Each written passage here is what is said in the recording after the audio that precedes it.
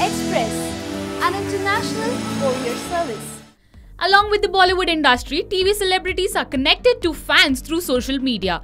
Love, family, or with friends, stars do not forget to give all their information to their fans.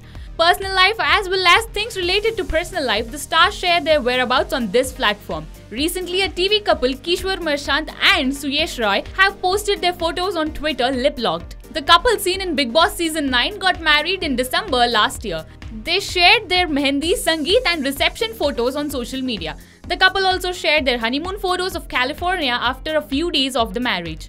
The pair also became very famous in the Bigg Boss house. There is a great difference in the age of Kishwar and Suyash, and in the beginning, many ideas were being made about the future of this couple.